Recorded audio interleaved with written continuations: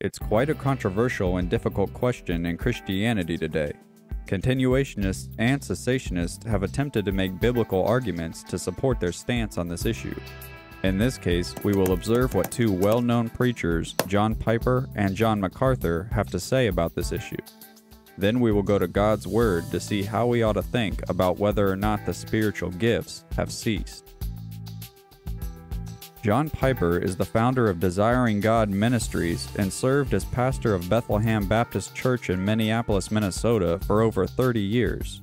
Piper holds the continuationist position, that is, he believes that the spiritual gifts described in the New Testament have continued and are available to Christians today. We're a church that believes in the presence and the power of the Holy Spirit to do whatever He pleases, including all the gifts mentioned in 1 Corinthians 12 8 to 10, to just pick out one list. There's no theology at Bethlehem that says God can't, won't, shouldn't give anybody a gift of faith, a gift of miracles, a gift of healing, gift of tongues, gift of wisdom, gift of knowledge. So John Piper believes that the gifts listed in 1 Corinthians 12 8 through 10 continue to this day. John MacArthur hosts Grace to You and has been pastor of Grace Community Church in Sun Valley, California for over 50 years. MacArthur holds the cessationist position that the spiritual gifts ceased with the death of the apostles and the completion of the canon of Scripture. The New Testament miraculous gifts ceased. They ceased. That has been the normative, historical view of the church through the church's life, going all the way back to the New Testament and on into the modern era. So John MacArthur affirms the cessationist position that the miraculous gifts have ceased. Just to look further into one example, let's consider the gift of prophecy and first see what John Piper has to say about that gift. Prophecy in the New Testament, at least the way it's treated in 1 Corinthians 12 and 13, 14, doesn't appear to have the same scripture quality, inerrant inspiration and authority that when in Isaiah, thus saith the Lord, you don't you don't go up to Isaiah and say, I'm going to test what you've said now and hold fast to what is good and throw the rest away. But you do that with New Testament prophecy. You test it, and if it proves good, that is confirming, conforming to authoritative teaching from the apostles, then then you embrace it. And so, prophecy in the in the New Testament seems to be down a notch from the authority of Old Testament prophets. This is a common continuationist argument to support the continuing of the gift of prophecy. However, to this, a cessationist would argue that continuationists change the biblical definition of prophecy, as well as the biblical definitions of healing, speaking in tongues, and so on, as John MacArthur explains here. They believe in tongues that aren't languages whereas clearly in the New Testament they were languages. They believe in miracles that aren't necessarily like the miracles Jesus and the apostles did, and they say that. They believe in revelation, divine revelation, but not infallible revelation.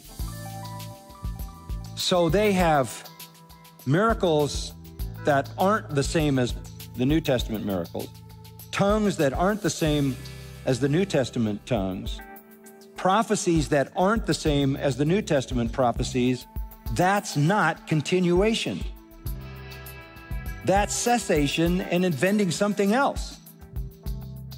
The debate continues as a cessationist would say that 2 Corinthians 12:12 is key evidence that the miraculous gifts ceased with the death of the apostles to which a continuationist would argue that the apostles were not the only ones in the New Testament performing these miraculous gifts. Further, a continuationist would use 1 Corinthians 13:10 to show that the gifts won't pass away until the perfect comes, which they would say is referring to Jesus. To that, a cessationist would argue that the perfect in question here is actually referring to the completion of the New Testament, which would prove that the gifts have ceased, as it says two verses earlier. The debate goes on and on. So, who is right? Truth is, there are faithful Christians on both sides of this debate. Christians who truly love the Lord and revere His holy word as authoritative and sufficient find themselves opposing each other in this debate. John Piper and John MacArthur are perfect examples of that, as they are both true, faithful ministers of God's Word, and yet they disagree on this issue. So, what are we to do with that? Perhaps Paul says it best in 1 Corinthians 1:10 when he says, "I appeal to you, brothers, by the name of our Lord Jesus Christ, that all of you agree, and that there be no divisions among you, but that you be united in the same mind and the same judgment." Here and elsewhere, believers are encouraged to be unified and not let secondary debatable matters cause division between us. Although God's word does divide true from false believers, and we should never unite with those who teach heresy. But disagreement over secondary issues alone, like this one, can be handled humbly and graciously among disagreeing brothers and sisters in Christ. So, where do you stand on this issue? Let me know in the comments, and if you want to look deeper into this issue, I've provided resources in the description.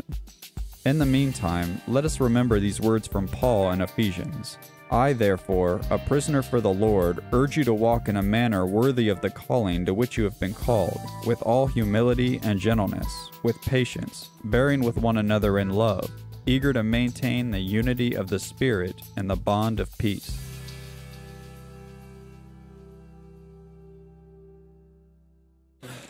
But you're experiencing what I've discovered my whole life, what I've experienced my whole life, the profound, almost um, almost um, unbearable joys of discovering truth in Scripture. Yep. And it just lights a fire in your heart. That's right. Yeah. So we we express that a little differently. I keep my arms down. You put your arms up. You know, you know, I was thinking about about miracles, and it just strikes me as I as I look at these guys down here, what a miracle it is that they can keep their arms down. I mean, I just I don't have that kind of control, so that's, that's obviously we believe in the supernatural here because they don't lift their hands. That's Yes. amazing.